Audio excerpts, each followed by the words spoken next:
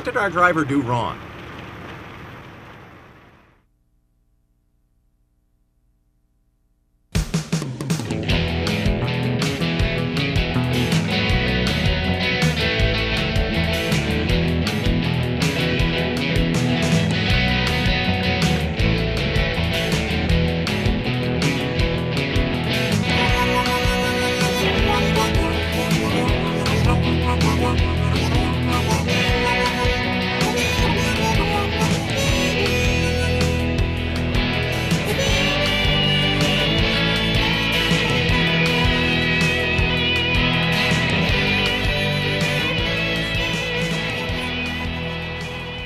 You're on the road, you have a lot to keep track of.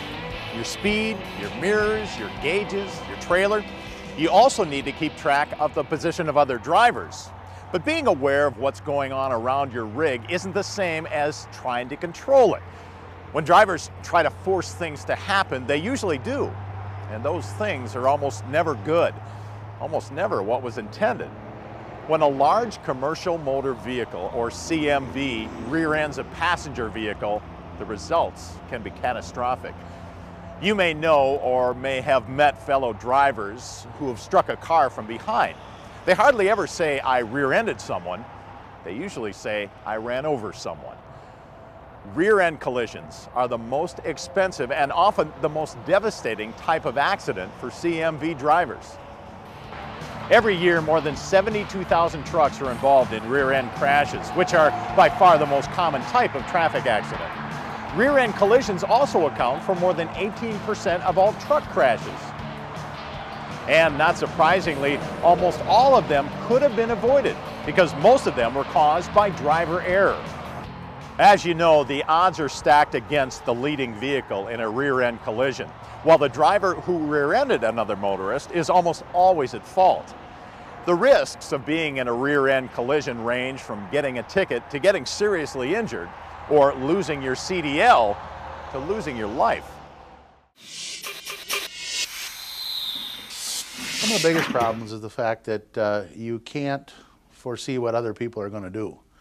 You can't necessarily drive their vehicles, but you have to think and be ready for anything that happens.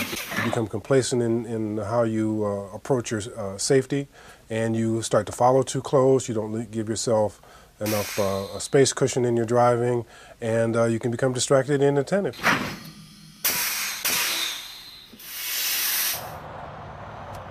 So, what is a typical rear end collision? Driver A is stopped or going slower than driver B, or driver A makes an unexpected move in front of driver B. In either case, driver B doesn't or can't stop in time. Passing can also be a red flag, usually because a driver gets too close before pulling out to pass, or fails to leave room for a passing vehicle to get safely back in line. Now that we've looked at some of the common causes of rear-end collisions, let's look at some strategies you can use to prevent them from happening. It begins with being alert and aware. If you know what's going on ahead, to the sides, and behind you, you can take the precautions necessary to avoid trouble. Another key is to watch out for what other drivers are doing. Anticipate that they will suddenly slow down or stop. Expect the worst. Performing a proper visual search is probably one of the first things you learned in driver training.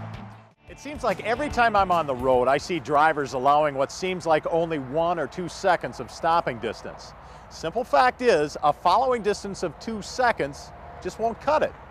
The rule of thumb for safe following distance under ideal conditions is one second for every 10 feet of your vehicle at speeds below 40 miles per hour. For speeds over 40, you need to add even more cushion, typically one additional second.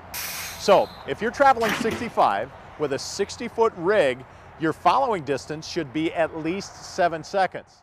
Sometimes conditions can change so quickly that you simply can't stop in time to avoid an emergency. Generally, evasive maneuvers are safer than trying to stop. If a lane is available, a quick lane change is the best route.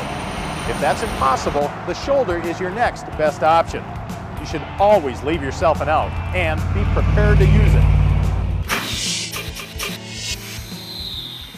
The biggest factor is speed, inattentiveness, and uh, you know, not proper following distances. If you can observe those three things uh, properly, then you should keep yourself out of that equation. You should keep yourself out of danger in terms of rear end collision. Rear end collisions are far too common, and the results are far too terrifying. If you don't do everything in your power to prevent one, sooner or later, it will happen to you. I bet you've probably seen the results of some pretty awful rear end wrecks over the years. Defensive driving not only helps you avoid them and the downtime and lost income that can follow a serious crash, it can also help protect you and others from serious injury.